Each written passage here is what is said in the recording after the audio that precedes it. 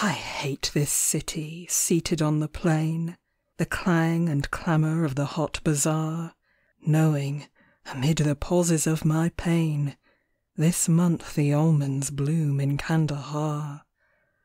The almond trees that sheltered my delight, Screening my happiness as evening fell, It was well worth, that most enchanted night, This life in torment and the next in hell.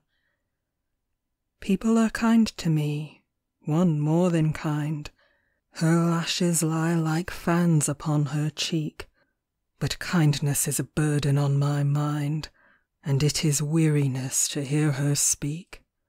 For though that Kaffir's bullet holds me here My thoughts are ever free, and wander far To where the lilac hills rise soft and clear Beyond the almond groves of Kandahar.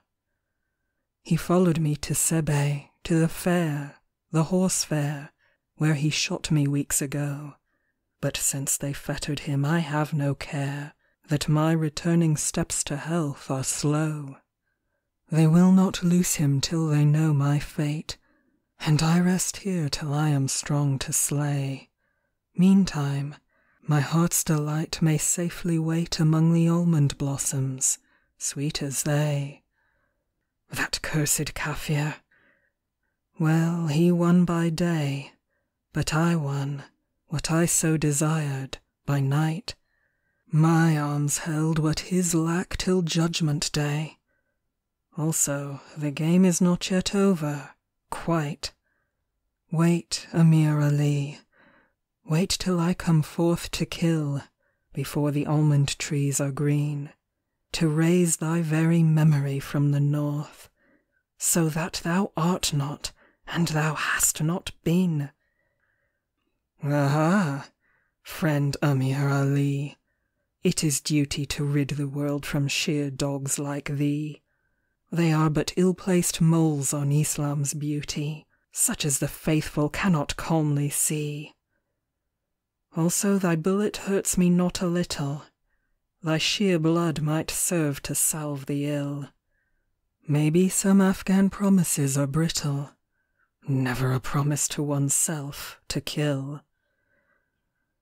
Now I grow stronger, I have days of leisure, To shape my coming vengeance as I lie, And, undisturbed by call of war or pleasure, Can dream of many ways a man may die.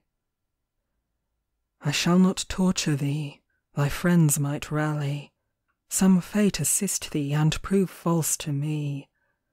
Oh, shouldst thou now escape me, Amir Ali, This would torment me through eternity. Ay, Shufajan, I will be quiet indeed. Give here the Hakim's powder if thou wilt, And thou mayst sit, for I perceive thy need, And rest thy soft haired head upon my quilt. Thy gentle love will not disturb a mind That loves and hates beneath a fiercer star.